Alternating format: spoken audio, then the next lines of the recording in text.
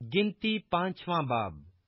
پھر خداون نے موسا سے کہا کہ بنی اسرائیل کو حکم دے کہ وہ ہر کوڑی کو اور جریان کے مریض کو اور جو مردہ کے سبب سے ناپاک ہو، اس کو لشکر گاہ سے باہر کر دیں۔ ایسوں کو خواہ وہ مرد ہوں یا عورت، تم نکال کر ان کو لشکر گاہ کے باہر رکھو۔ تاکہ وہ ان کی لشکرگاہ کو، جس کے درمیان میں رہتا ہوں، ناپاک نہ کریں۔ چنانچہ بنی اسرائیل نے ایسا ہی کیا اور ان کو نکال کر لشکر گاہ کے باہر رکھا۔ جیسا خداون نے موسا کو حکم دیا تھا، ویسا ہی بنی اسرائیل نے کیا۔ اور خداون نے موسا سے کہا کہ بنی اسرائیل سے کہ کہ اگر کوئی مرد یا عورت خداوند کی حکم عدولی کر کے کوئی ایسا گناہ کرے جو آدمی کرتے ہیں اور قصوروار ہو جائے، تو جو گناہ اس نے کیا ہے، وہ اس کا اقرار کرے۔ اور اپنی تکثیر کے معاوضہ میں پورا دام اور اس میں اس کا پانچواں حصہ اور ملا کر اس شخص کو دے جس کا اس نے قصور کیا ہے۔ لیکن اگر اس شخص کا کوئی رشتہ دار نہ ہو، جسے اس تقسیر کا معاوضہ دیا جائے، تو تقسیر کا جو معاوضہ خداون کو دیا جائے، وہ کاہن کا ہو۔ علاوہ کفارہ کے اس مینڈے کے، جس سے اس کا کفارہ دیا جائے۔ اور جتنی مقدس چیزیں بنی اسرائیل اٹھانے کی قربانی کے طور پر کاہن کے پاس لائیں، وہ اسی کی ہوں۔ اور ہر شخص کی مقدس کی ہوئی چیزیں اسی کی ہوں، اور جو چیز کوئی شخص کاہن کو دے، وہ بھی اسی کی ہو۔ اور خداون نے موسا سے کہا کہ بنی اسرائیل سے کہہ کہ اگر کسی کی بیوی گمراہ ہو کر اس سے بے وفائی کرے۔ اور کوئی دوسرا آدمی اس عورت کے ساتھ مباشرت کرے اور اس کے شوہر کو معلوم نہ ہو، بلکہ یہ اس سے پوشیدہ رہے اور وہ ناپاک ہو گئی ہو۔ پر نہ تو کوئی شاہد ہو اور نہ وہ این فیل کے وقت پکڑی گئی ہو۔ اور اس کے شوہر کے دل میں غیرت آئے اور وہ اپنی بیوی سے غیرت کھانے لگے۔ حالانکہ وہ ناپاک ہوئی ہو یا اس کے شوہر کے دل میں غیرت آئے اور وہ اپنی بیوی سے غیرت کھانے لگے۔ حالانکہ وہ ناپاک نہیں ہوئی، تو وہ شخص اپنی بیوی کو کاہن کے پاس حاضر کرے اور اس عورت کے چڑھاوے کے لیے ایفا کے دسویں حصہ کے برابر جو کا آٹا لائے، پر اس پر نہ تیل ڈالے، نہ لبان رکھے، کیونکہ یہ نظر کی قربانی غیرت کی ہے۔ یعنی یہ یادگاری کی نظر کی قربانی ہے، جس سے گناہ یاد دلایا جاتا ہے۔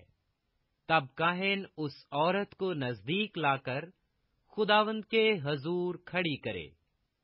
اور کاہن مٹی کے ایک باسن میں مقدس پانی لے اور مسکن کے فرش کے گرد لے کر اس پانی میں ڈالے۔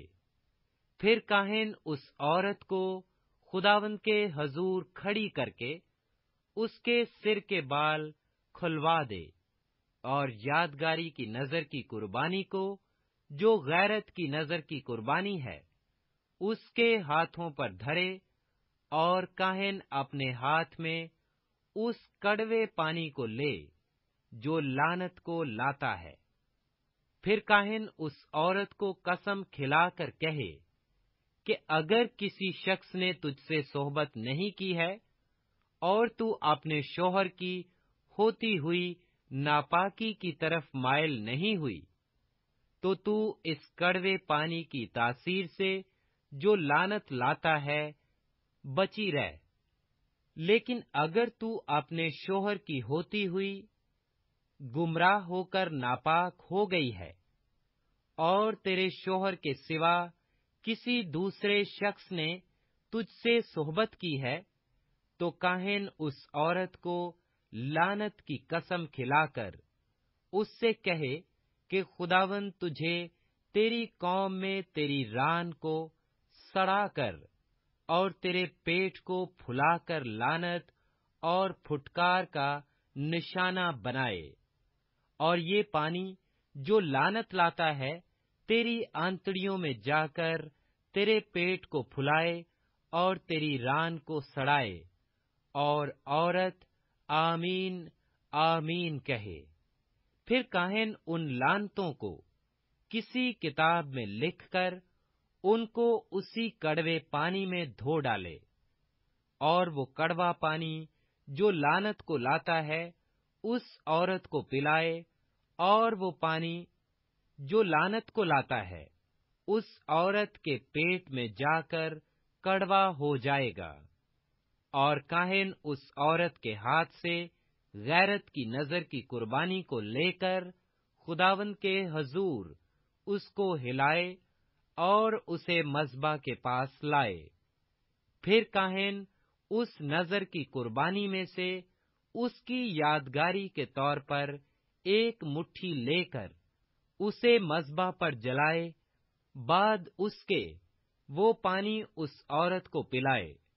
اور جب وہ اسے وہ پانی پلا چکے گا تو ایسا ہوگا کہ اگر وہ ناپاک ہوئی اور اس نے اپنے شوہر سے بے وفائی کی، تو وہ پانی جو لانت کو لاتا ہے، اس کے پیٹ میں جا کر کڑوا ہو جائے گا، اور اس کا پیٹ پھول جائے گا، اور اس کی ران سڑ جائے گی، اور وہ عورت اپنی قوم میں لانت کا نشانہ بنے گی۔ پر اگر وہ ناپاک نہیں ہوئی، بلکہ پاک ہے، تو بے الزام ٹھہرے گی۔ اور اس سے اولاد ہوگی۔ غیرت کے بارے میں یہی شرح ہے۔ خواہ عورت اپنے شوہر کی ہوتی ہوئی گمراہ ہو کر ناپاک ہو جائے یا مرد پر غیرت سوار ہو اور وہ اپنی بیوی سے غیرت کھانے لگے، ایسے حال میں وہ اس عورت کو خداوند کے آگے کھڑی کرے۔